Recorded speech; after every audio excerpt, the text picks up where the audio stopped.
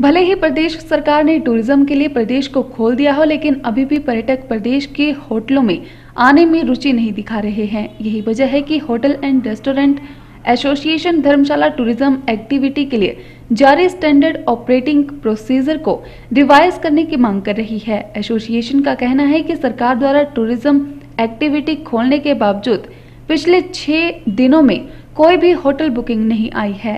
SOP में लगाए गए अनुचित प्रतिबंध हटाए जाएँ।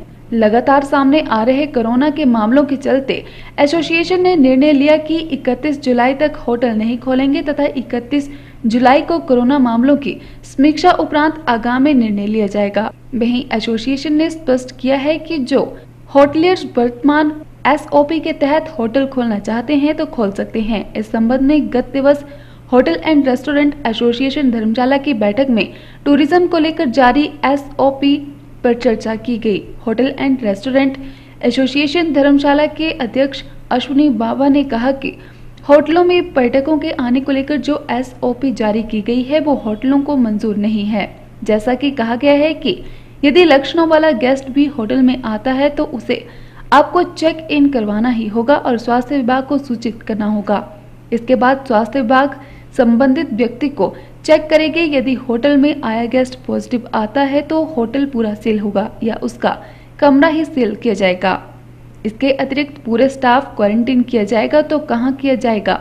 एसोसिएशन का कहना है कि यदि लक्षणों वाला गेस्ट किसी होटल में आता है तो उस पर्यटक को होटल में न आने देने का अधिकार होटल को होना चाहिए। होटल स्टाफ ऐसे मामलों के बारे में स्वास्थ्य विभाग को सूचित करते जिस पर स्वास्थ्य विभाग का स्टाफ आकर उस व्यक्ति को चेक करे और आगामी कदम उठाए।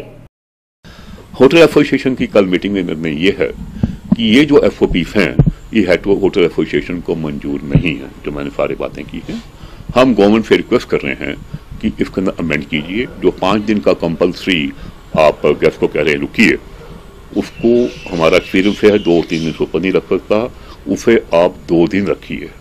कोई भी गैस दिन की कंडीशन पर नहीं आना चाहेगा। नंबर टू गाड़ी का जो उन्होंने बोला है कि सेल्फ एक सर्टिफिकेशन सैनिटाइज का देके आए, वो गलत है।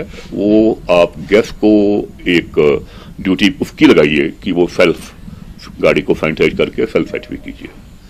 तीसरा, हमारे होटल में हमें ये ना बोला जाए कि बीमार आदमी को रखें, और उसके बाद बीमार के बाद वो होटल सील करने का, और होटल के अगेंस्ट कोई पैंडेमिक एक्ट के अंदर डायरेक्टर एक्ट के अंदर कोई पॉजिटिव एक्शन लिया जाए तो वो ना लिया जाए। तब तक हमने गवर्नमेंट से रिक्वेस्ट हमारे, हम भेजी हमने हमने ईमेल की हैं फैक्ट्री टूरिज़्म डायरेक्टर टूरिज़्म को भी। और तब तक हमने ये निर्णय लिया है कि इकतीस तीस जुलाई तक हम होटल को बंद रखेंगे।